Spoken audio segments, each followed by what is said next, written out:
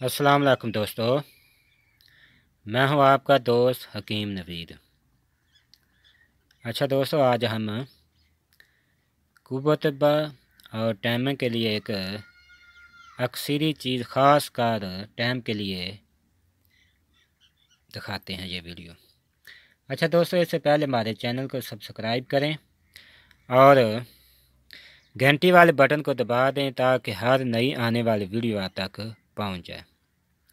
اچھا دوستو، اس نسخے کو آپ لائک کریں کمنٹ کریں شیئر بھی کریں۔ اچھا دوستو، بعد دوست احباب، اپنی مرض بتانے سے چھپاتے ہیں اپنے آپ کو۔ اور غلط کام کرنے سے نہیں چھپا، چھپتے۔ غلط کام بڑی بڑی تیزی کے ساتھ اور شرمانے کی بھی ضرورت نہیں پڑتی، وہاں وہاں پر بہت تیزی کے ساتھ غلط کام کرتے ہیں۔ جب مرض بتانے کو آتے ہیں تو بہت ہی شرماتے ہیں۔ اچھا دوستو، اگر آپ اس نسخے کو کسی گروپ میں شیئر کریں گے، ہو سکتا ہے کسی دوست کا بھلا ہو جائے جو شرماتا ہے۔ اچھا دوستو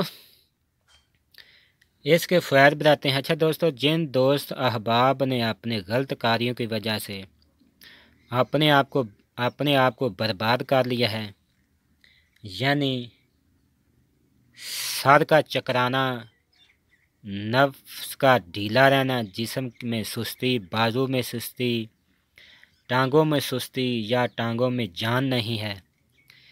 اسی طرح اور مرض بھی پیدا ہو جاتے ہیں جس میں منی کا کم ہو جانا یا منی کا پانی کی طرح پتلا ہو جانا۔ ٹائم بالکل نہ ہونا، نفس میں سستی آ جانا، نفس کا پورا ٹیٹ نہ ہونا۔ یہ تمام امراض اکثر دیکھنے میں آتے ہیں۔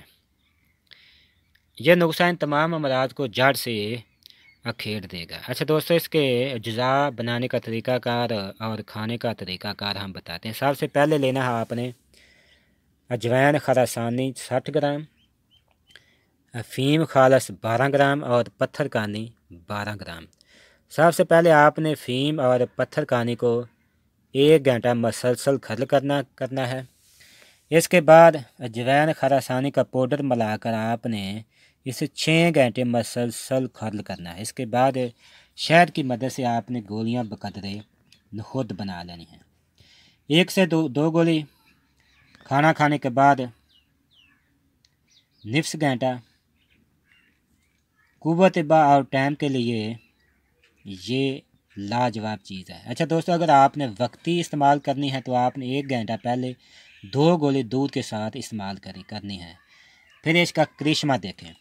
اگر آپ نے دھمی طور پر استعمال کرنا ہے تاکہ تمام امراض جھٹ سے ختم ہو جائیں، تو آپ نے ایک سے دو گولی صبح اور ایک سے دو گولی رات کو تین پو دودھ کے ساتھ کھانا کھانے کے بعد۔ جس میں ہلکا سا دیسی گھی ملا کر استعمال کریں۔ اچھا دوستو، یہ قوت با اور ٹائم کے لیے ایک اکثری چیز ہے۔